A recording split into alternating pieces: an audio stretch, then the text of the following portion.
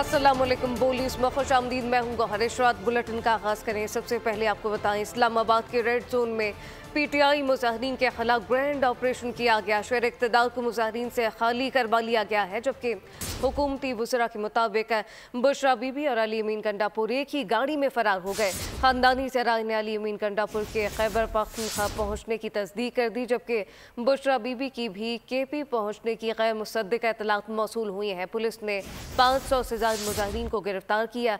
जिन Avenue seventh Avenue से मुजाहरीन की गाड़ियाँ छोड़कर फरार होने को सामने देखा जा सकता है, जबकि रेड जोन समेत इस्लामाबाद के तमाम इलाकों से मुजाहरीन गायब हो गए। इस मुतालिक आपको बताएँ कि इस्लामाबाद और ब्लू एरिया से शरपसंद और इंतशार पसंद अनासर को निकाल लिया गया है। बुशरा बीबी के के पी पहुँचने की गैर मुसद इतलात मौसू हुई हैं। साथ साथ आपको ये भी बताएँ कि पुलिस ने 500 से जायद मुजाहरीन को गिरफ़्तार किया है और ये 500 से जायद वो मुजाहरीन थे जो शर पसंद अनासर से जो दहशत गर्दी कर रहे थे, जिन एवेन्यू सेवन्थ एवेन्यू से मुजाहरीन की गाड़ियाँ छोड़कर फरार होने की फुटेजेस सामने आ चुकी हैं। फुटेज में ये देखा जा सकता है, इस्लामाबाद के रेड जोन में पी टी आर मुजाहरीन के खिलाफ ये ऑपरेशन किया गया है। 500 से जायद कारकुनान इंतशार पसंद कारकुनान को गिरफ़्तार कर लिया गया। पहले दिन से कह रहा था, तहरीक इंसाफ से मुजाकरात होंगे ही नहीं। इनका रवैया ऐसा नहीं कि जोश और धमकियाँ देकर मुल्क का अरबों रुपए का नुकसान करके देख लिया। तहरीक इंसाफ वालों से कहता हूँ कि अब बस करें, बहुत हो गया। कब तक ऐसा करेंगे? पीटीआई मुजाहरीन के मुंतशिर होने के बाद इस मुतालिक आपको बताएँ कि वजी दाखिला मोहसिन नकवी डी चौक पहुँचे, फौरी तौर पर बंद सड़कों को खोलने का ऐलान किया। कहा कि मोबाइल फ़ोन सर्विस बहाल हो जाएगी। इस्लामाबाद में जुमेरात से स्कूल मुकम्मल तौर पर खुल जाएँगे, जबकि उन्होंने कहा कि पीटीआई वालों ने मीडिया हाउसेस पर हमले किए।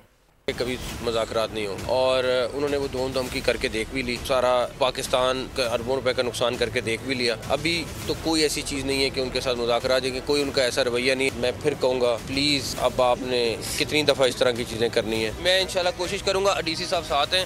इन हम कुछ कंटेनर रात को कुछ कल सुबह में दस ग्यारह बजे सारे चीज़ें परसों से स्कूल खुल जाएँगे नेट वगैरह का मोबाइल सर्विस का था वो वाला सुबह इंशाल्लाह रिस्टोर हो जाएगा। डेफिनेटली जो जो हमारे मीडिया हाउसेस के ऊपर जिन्होंने अटैक किया है वो सीसीटीवी वो ऑलरेडी मेंशन कर गए वो ढूंढेंगे और हर एक के खिलाफ पर्चा देंगे। अलहदा पर्चा हमने उनको एक दफ़ा नहीं दो दफ़ा जब उन्होंने खुद कहा कि हमें संजानी की जगह दे दें। हमने मुशावरत के बाद वो जगह दी। उन्होंने कहा कि हाँ वो हमें खान साहब ने भी ओके कर दिया है कि हमें संजानी जाके करना उनकी जो आजकल एक्टिंग प्रेसिडेंट हैं, उन्होंने कहा कि नहीं, मैं नहीं मानती, इमरान खान का फैसला और मैं डी चौक गया। इंशाल्लाह ताला उम्मीद है कि नया दिन नई सोच के साथ जाएगा। ये दहशत गर्द है, इनसे किसी किस्म की कोई बातचीत नहीं होगी। विफाकी से रतलाता तारर ने अली मीन गंडापुर और बुशरा बीबी को भगौड़ा करार दे दिया, कहा कि फरार होने वालों को शर्म से डूब मर जाना चाहिए। ये अपने लीडर को रिहा कराने आए थे, खुद गिरफ़्तार हो गए।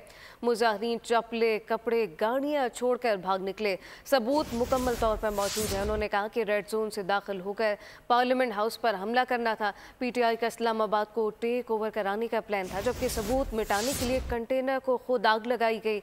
इनके सारे मंसूबे खाक में मिल चुके हैं। कंटेनर के नीचे से जले हुए कागजात मिले, जिनका का फॉरेंसिक कराया जाएगा।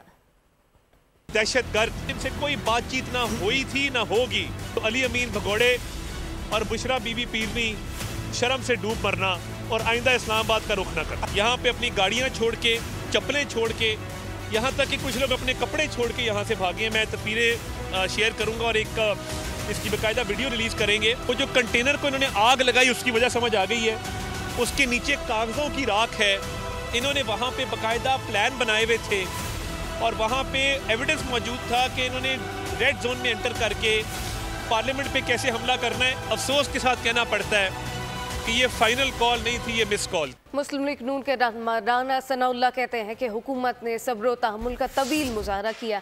पीटीआई को कई मरतबा कहा कि बातचीत ही मसाइल का वाहिद हल हो सकता है।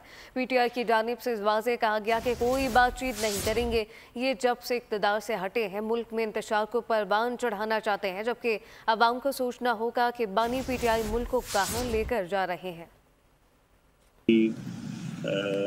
पूरे जो है वो यकीन से बात नहीं की जा सकता। नहीं ख्याल के खान साहब जो है वो मान गए बुशरा बीबी जो है वो नहीं मानी।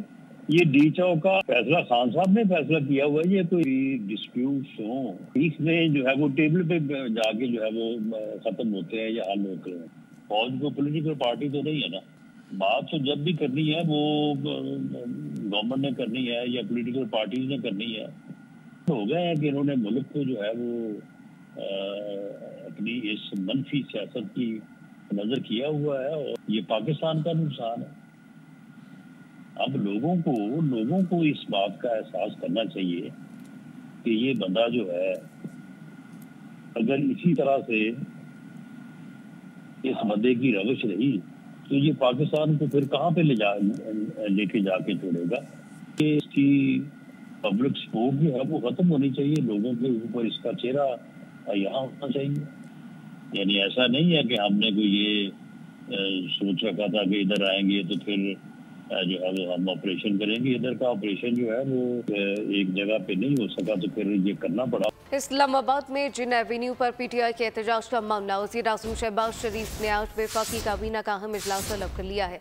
विफाकी काबीना इजलास में वजी दाखिला मोहसिन नकवी अमन अमान की सूरत हाल पर तफसीली ब्रीफिंग देंगे। जरा के मुताबिक वजी दाखिला की ब्रीफिंग की रोशनी में मुजाहरीन के खिलाफ अहम फैसले किए जाने का भी इम्कान है।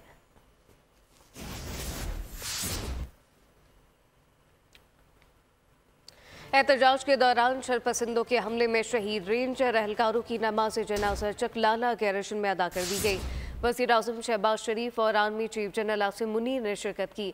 नमाज़ जनाजे में नायब वजी अजम वजी दाखिला और वज़ीर इतलात भी शरीक हुए। आई एस पी आर का कहना है कि शौदा में नाइक मोहम्मद रमज़ान सिपाही गुलफाम खान और सिपाही शाहनवाज शामिल। शौदा को फौजी एजाज के साथ आबाई इलाकों में सुपरदखा किया जाएगा।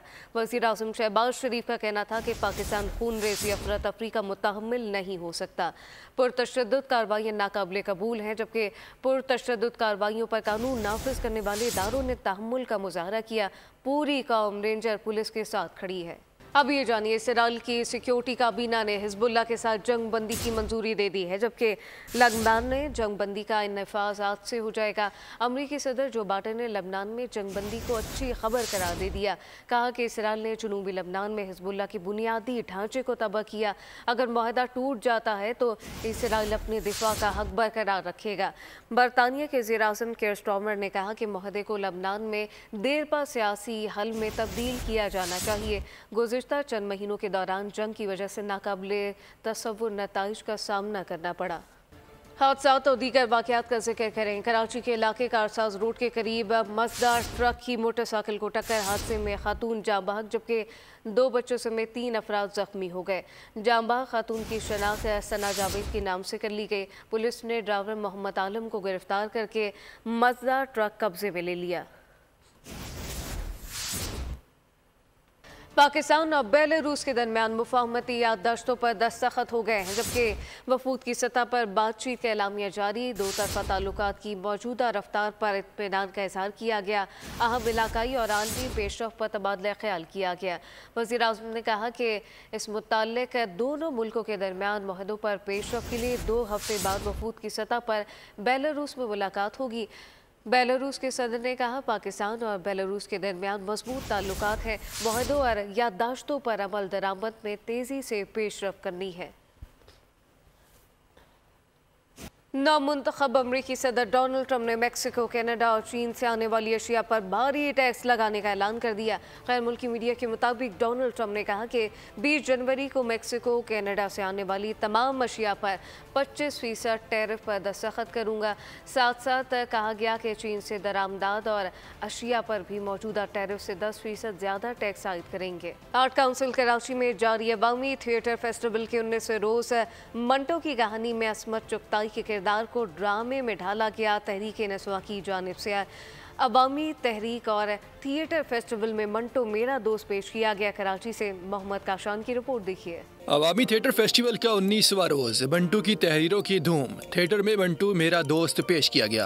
आर्ट्स काउंसिल कराची में होने वाले फेस्टिवल के थिएटर में असमत चुगताई का किरदार क्लासिकल डांसर शीमा किरमानी जबकि सादत हसन मिंटो का किरदार थिएटर अदाकार इमरान खान ने निभाया। फनकारों ने किरदारों में ऐसे हकीकत के रंग भरे के हॉल तालियों से गूंज उठा। शुरा ने कहा मिंटू के अफसानों की अक्सबंदी देखकर खूब मज़ा आया। मंटू की ज़िंदगी के बारे में बताया बहुत कुछ सीखने को मिला। रिलीजियस का पता चला पैगाम यही है कि आजकल की का पता चला। वैसे तो हम बुक्स वगैरह में पढ़ते थे मंटू के अफसाने बट लाइव देख के बहुत खुशी हुई। मिंटू मेरा दोस्त जो है ये थिएटर का ड्रामा बहुत अच्छा था इससे हमें सबक मिलता है।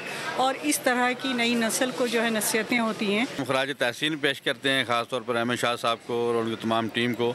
इक्कीस रोजा थिएटर फेस्टिवल 28 नवंबर तक जारी रहेगा। आज के थिएटर में मंटू के लिखे गए अफसानों की अक्सी पेश की गई जिसको देखकर शुरा खूब महसूस हुए। कैमरामैन साजिद कमाल के साथ Mohammad Kashan Bol news Karachi. News bulletin से फिल वक्त इतना ही। मजीद खबरों और अपडेट्स के लिए विज़िट कीजिए हमारी वेबसाइट बोल न्यूज़ डॉट कॉम। आप देखते रहिए बोल न्यूज़।